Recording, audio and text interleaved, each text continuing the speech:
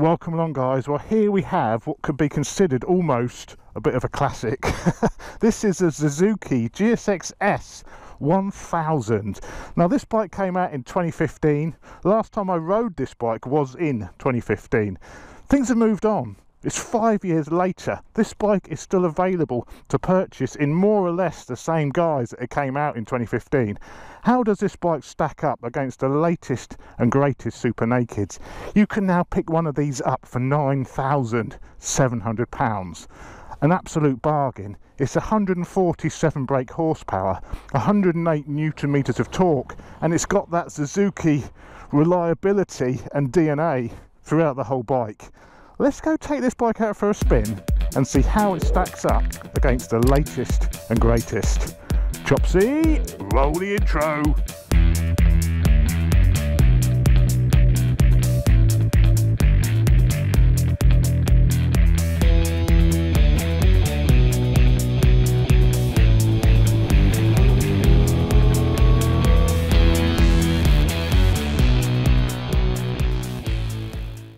So you have to bear in mind, this bike is based on the 2005 GSXR 1000, the K5 GSXR, considered, you know, one of the best ever GSXRs produced. The first thing you notice when you jump on this bike is it's the same with a lot of Suzukis. I'm a massive Suzuki fan. I mean, I've had the new GSXR what I love about Suzuki's is just the quality feel you get when you're riding them. And when I started this up, you know, the clutch is lovely, the controls are beautiful. It's all very, very well engineered. The feel from the bike is really well engineered. They are lovely to ride. And this is something I've always said about Suzuki's and the GSX-S is no different. It's got that nice Suzuki quality feel to it. The engines sound like sewing machines, they're so smooth. The riding position is also very, very comfortable. You're quite upright, the seat's quite sculpted, it feels like you're sort of fitted into the seat. I don't think there'd be too much option to move around so much in the seat, you're sort of locked in a little bit. But the rest of the ergos, the bars are really high, really wide, Renthal fat bars on this. They're coming up quite high, so you can sort of lock your arms you know, it's, it's a nice, comfortable position. Perhaps not as sporty feeling as the likes of the Tuono, but it's definitely a road-based, comfortable bike. You get that feel from it straight away. Mid-range power from that engine is pretty good. It's much more it's much more responsive than the CBR 1000R which I think Honda have overgeared that bike. This is geared nicely. It's got a bit of torque. It's got a bit of drive when you open the throttle. That really was one of my criticisms with the CBR. The CB, sorry, the CB1000. It lacked a little bit of a low down pickup. This isn't like that. It's got that low down drive. It's not like V4 Tuono punch. You know, it's a, it takes a little bit to wind up. It is a straight four. It's just a straight four, no variable valve timing. but it's got it gets there pretty damn quickly the brakes oh, are also Brembo the suspension is fully adjustable but it's a little bit soft I think it's definitely geared up you know for the for the road certainly not to be used on track but it's soft it's pliable it's fully adjustable you can improve it you know changes direction quite nicely. It feels a little bit slow. The bike is 209 kilos wet. So it is also a couple of kilos lighter than the CB as well. The CB is also, I think, about four brake horsepower less than this, and the CB is a little bit less torque than this, and the CB is 11 and a half grand. So, you know, for 9.7, you start to see the appeal of this machine compared to its rivals. Because it's old school, there's no electronics quick shifters and blippers you know it's not even an option on this machine a quick shifter and blipper. You can't even get one. You have to look aftermarket if you want a quick shifter and blipper. But I can forgive it that you know the gearbox is so nice the clutch feels so nice it's nice to have a to sometimes go back to doing the old-fashioned way and, and changing manually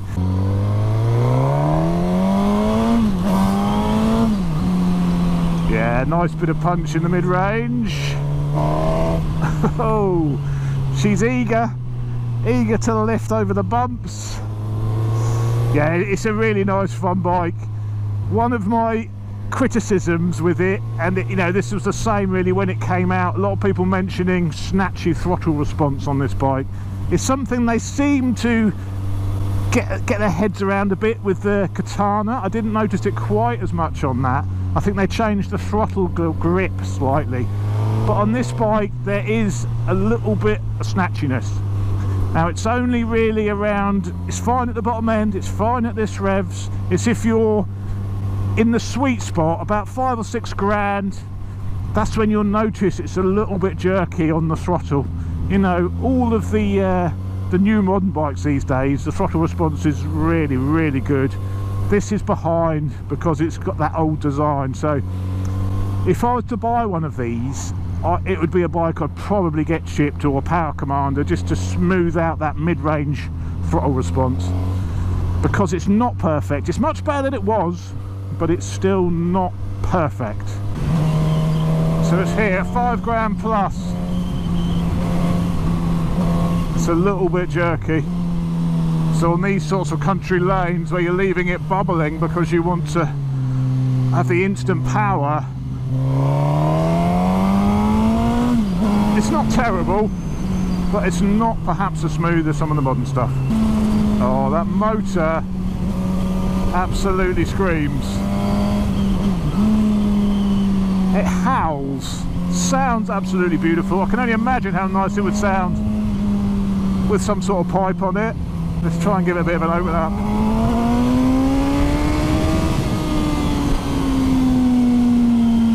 Listen to that airbox roar.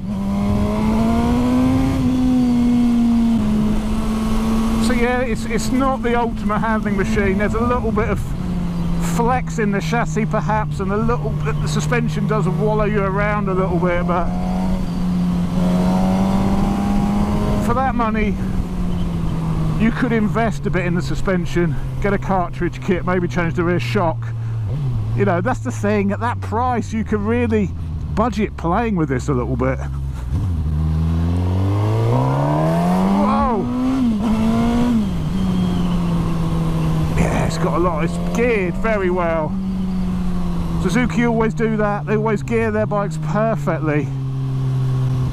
A mistake Honda always make Honda always overgear them. Good job Suzuki. This is geared beautifully. So the display is a fairly simple. LCD display in keeping when this bike came out in 2015 you've got a fuel gauge you know with blobs so you know pretty pretty accurate fuel gauge as well from what I've seen you know miles per gallon you're doing. I don't think it's got a range till empty so you know it's fairly basic. Temperature gauge shows the level of traction you're on and uh, and the time. So uh, and the gear indicator we've got a gear indicator? Yeah and a gear indicator. So everything you need everything you're ever going to need just in a fairly basic way of displaying it. Now as I mentioned you can get this bike for nine thousand seven hundred pound. You know it's, it's a ridiculous amount of money. There's a thousand pound off on all of the Suzukis at the moment. I don't know if they're trying to clear some old stock. I don't know if we can expect to see a new version of this bike soon. I really hope so. I really hope so because you know they've got the new GSXR has been out for a few years now. So you really would expect to see that new GSXR engine as the platform to Suzuki's you know main super naked so I think this bike is definitely due for a revamp. Five years in motorcycle development terms is huge. I mean, this thing has traction control, but there's no IMUs. There's, there's three levels of traction control, you know, just one, two, three, and off. And the traction control is pretty rudimentary, I would say. You know, the, the, uh, technology has moved on leaps and bounds in the last five years, and the electronics is one of those areas which is gone the latest electronics on the latest release bikes are truly incredible. Now this is lacking a little bit but that's reflected in the price. Second gear. Ready for the overtake. 4,000 revs. Let's see how she pulls. Very well is the answer it's not as punchy because it's a straight four obviously they're always a little bit flat. You've always got to get to the upper echelons of the rev range to really open them up and get the most from them. So compared to the likes of the uh, the Triumph Speed Triple it's nowhere near it's not got not much punch as that engine.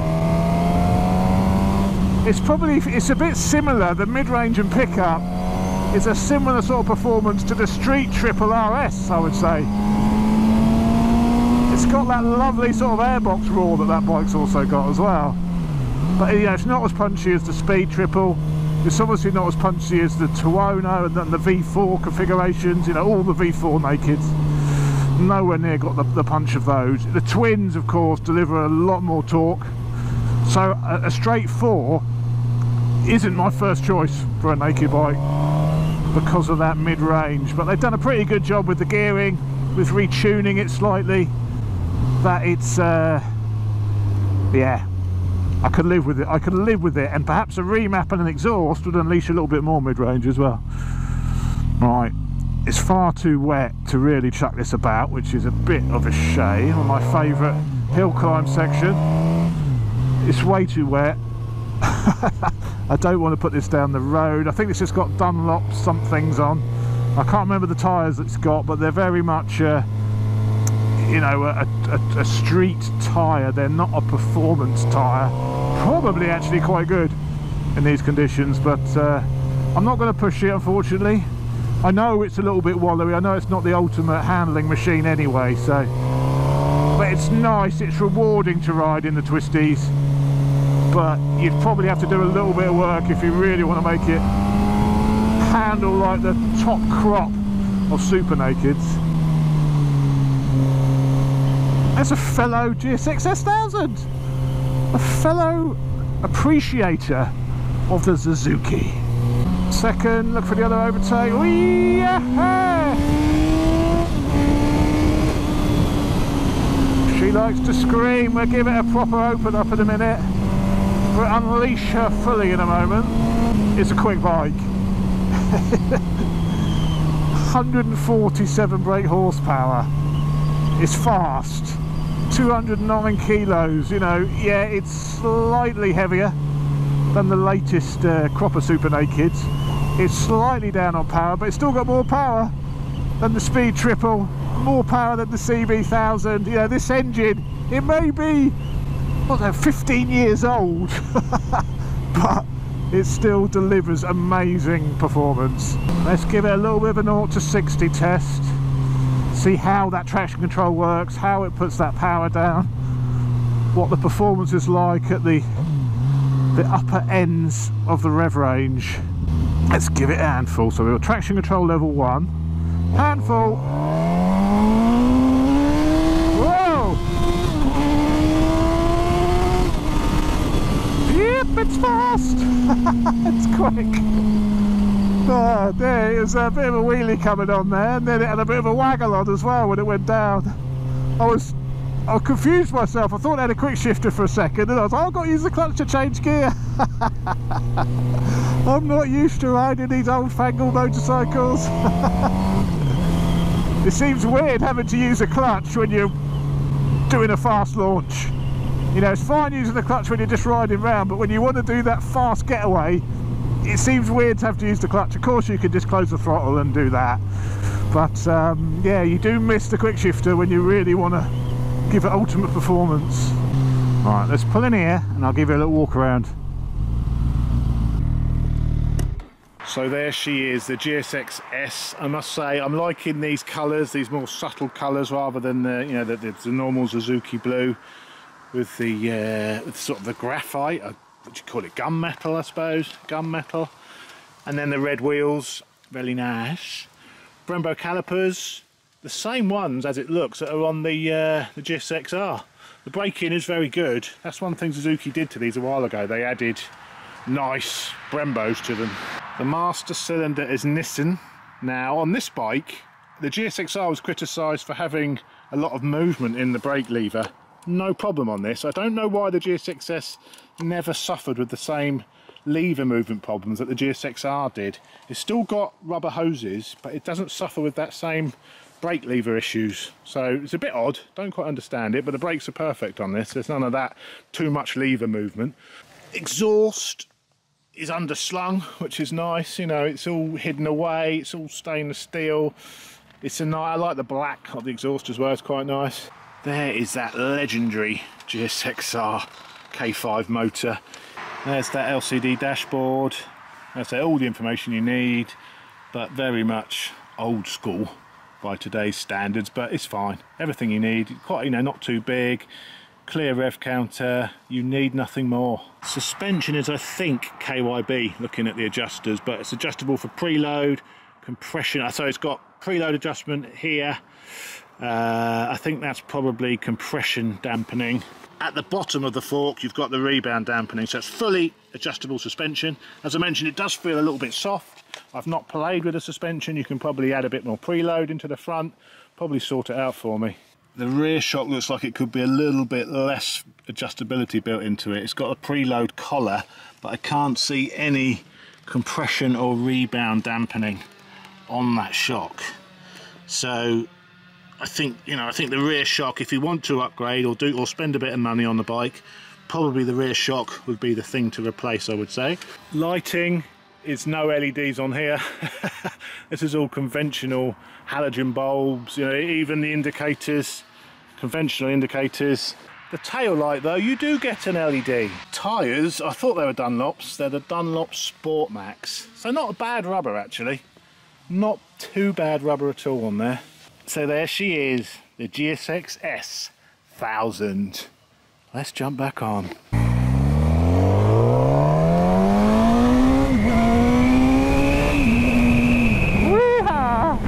So there we go guys, the GSX S1000, I mean, it may be a five year old design. It may be lacking behind some of its new rivals in know, regarding electronics and all of the whiz-bang stuff, but if you want a bike which is fundamentally fantastic brilliant engine capable chassis ish a few little mods just to clean up the throttle response a couple of hundred quid and you have got one hell of a bike all for under 10,000 pounds. Now that ladies and gentlemen is a bargain. This is power level 1, which is full power.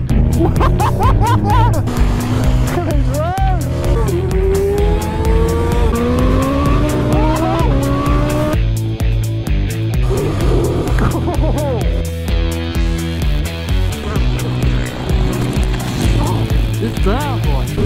I could do that all day. What have you done here? I told you I was scared back there. I've never dropped a bike before in my life. Oh, backfire. That's it. That's it. Listen to this. Any day of the